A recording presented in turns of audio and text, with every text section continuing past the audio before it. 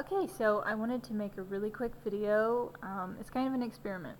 Recently, a friend told me that if you have um, buildup on a potter pan like this, but she wasn't talking about this, she was talking about a regular potter pan with buildup and you can't get it out, you fill it up with water and you put a fabric softener sheet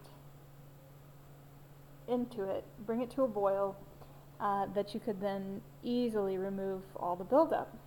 So I actually tried it because this pot had a nice ring of buildup and it took it off. So it got me thinking before I dumped that water out.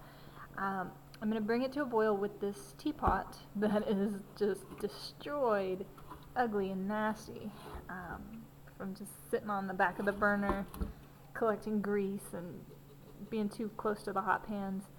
Um, I don't want to throw it away because it's a great little teapot, but I also want to just see if I can get this clean because I've tried chipping away at it um, and it's a big pain in the butt. So anyway, I filled it up with water so it'll be heavy.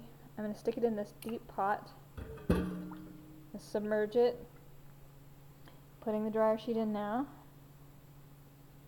Okay, and I'm going to put it on the stove and bring it to a boil and we're going to see if I can uh, easily remove all the funk uh, after it's been in there for a while. So I will report back and let you know. I'll show you the end results in the next video, so follow up.